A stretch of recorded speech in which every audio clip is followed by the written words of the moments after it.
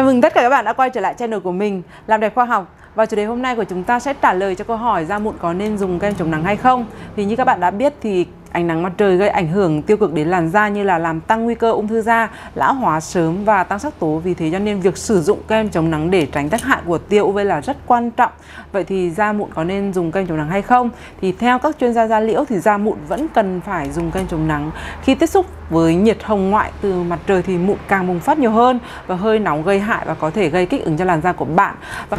mặt khác thì da sẽ bị tăng sắc tố khi tiếp xúc với ánh nắng mặt trời do sự sản sinh của melanin và khiến cho những vết sẹo mụn sẽ trở nên trầm trọng hơn. Tuy nhiên thì uh, điều quan trọng là phải lựa chọn được uh, loại kem chống nắng phù hợp với da mụn như thế nào và với những chị em mà da bị mụn thì thường rất là khó khăn trong việc tìm ra kem chống nắng phù hợp với làn da của mình bởi vì sử dụng sản phẩm chống nắng không phù hợp thì có thể gây ra kích ứng và dẫn đến mụn nhiều hơn. Tuy nhiên thì có rất nhiều loại kem chống nắng được bày bán trên thị trường mà không làm tắc nghẽn lỗ chân lông khiến cho da trông sáng mịn hơn và với da dầu và da mụn thì bạn nên sử dụng sản phẩm chống nắng dạng à, lỏng, dạng gel hoặc là dạng xịt bởi chúng có dạng nước thì sẽ dễ dàng hấp thụ hoàn toàn vào làn da mà không để lại vệt kem. Ngoài ra, bạn nên tìm kiếm các sản phẩm chống nắng có dán nhãn là không chứa dầu và không gây dị ứng. Và nếu như bạn thuộc da dầu hoặc là da mụn thì nên ưu tiên lựa chọn những sản phẩm chống nắng không chứa dầu nhằm giúp cho da không bị bóng dầu. Chị em phụ nữ có thể tìm cụm từ đó là Nancomdogenic trong nhãn dán của kem chống nắng. Ý nghĩa của cụm từ này đó là sản phẩm không chứa các thành phần làm tắc nghẽn lỗ chân lông để đảm bảo rằng bạn sẽ không bị nổi mụn khi sử dụng chúng. Và ngoài ra thì bạn không nên dùng kem chống nắng dành cho cơ thể để thoa lên mặt.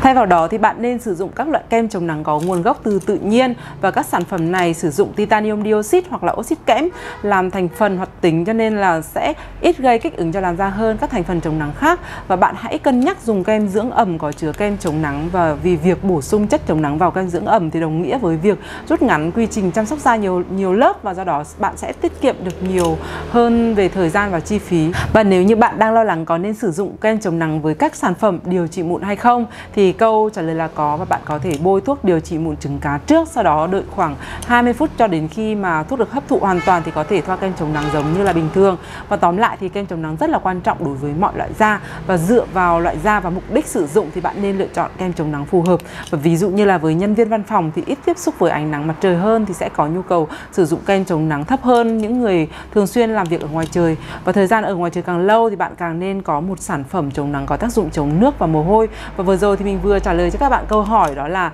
da mụn có nên sử dụng kem chống nắng hay không? Và nếu như thấy video này hữu ích thì hãy ấn like để mình biết là đã giúp được gì đó cho bạn. Đừng quên subscribe kênh nếu như đây là lần đầu tiên ghé thăm channel của mình để các bạn có thể đón xem được những video mới nhất từ làm đẹp khoa học và cuối cùng xin được nói lời cảm ơn và hẹn gặp lại các bạn vào 8 giờ mỗi tối.